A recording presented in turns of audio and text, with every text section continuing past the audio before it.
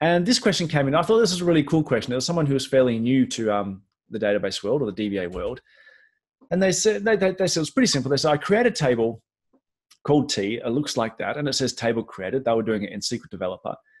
And then I click on the SQL tab, which actually generates the DDL for that table. And they said, I was expecting to sort of get that back. And there are preferences in SQL Developer in which you can actually do that. But they got back the create table command, followed by all of this kind of stuff that you have at the end of a create table command. And they said, Can you explain all this stuff to me? Because I'm fairly new and, and what do I, you know, how do I, what do I choose for all these values? Then we came up to initrans and maxtrans. In a given database block, we allocate a bit of space for what's called the interested transaction list. You'll see the term ITL. And for example, here I've got four of them. This is the number of concurrent open transactions that can be active on a particular block at any given point in time. So that might be session one, this might be session 12, and so forth.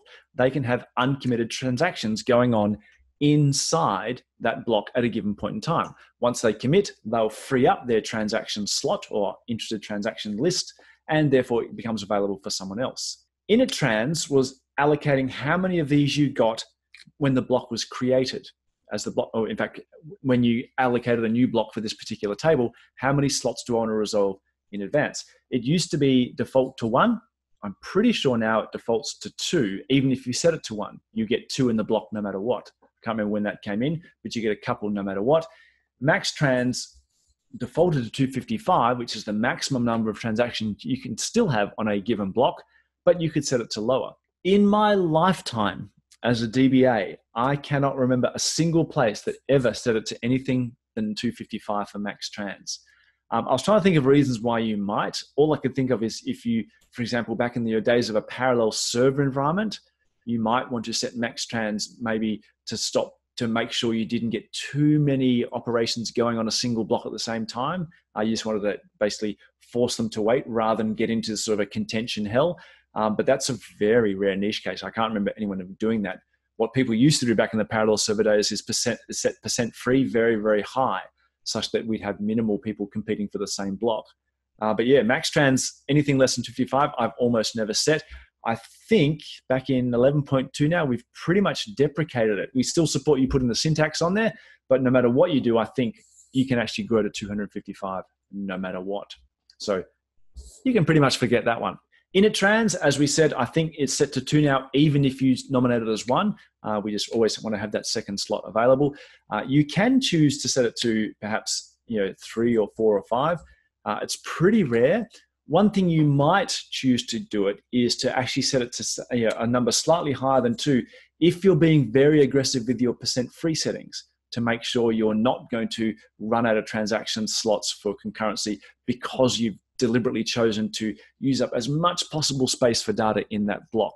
But once again, 99.9% of applications out there can quite happily get away with the default for initrans and definitely the default for maxtrans. So guess what? You probably don't need them either. So, next on the list were no compress and logging. These ones people familiar with, so we'll fly through them. No compress is the default. The other option you have is compress, uh, which is a facility. Now you might be thinking, oh, this means I have to pay more licensing. No, we have different levels of compression um, I'm not going to dwell on these because there actually is a compression office hours, which I hope you've all been attending. Um, so yeah, so we have basic level compression and we have advanced level compression. And in under advanced, there are various permutations. The basic one is free, part of Enterprise Edition. Um, and the cool thing is that works only for direct path loading. And that's the key thing I wanted to speak about here is if you're using compression, don't forget you only get the benefit of compression for direct path loading when you're using the free compression. Uh, we have heaps of questions and ask Tom, people saying, how come my table isn't being compressed? It's only compressed when you do direct path load or alter table move. Logging, as you can imagine, is makes a lot of sense, is does all my changes go to redo? Once again, if you set something to no logging, Um, back in the old days, we used to call it unrecoverable, which was always somewhat of an alarming term. But yes, no logging. Once again, direct path operations only. Don't ever forget that the implications of no logging are on if you have a standby database, which hopefully everyone does. Uh, in 18C, we've improved things better, but certainly before that, uh, no logging operations can have a dramatic impact on your standby database. Uh, and as a result, no compress. Think good about think about compress, especially for data warehouse kind of stuff. Um, often not used and should be.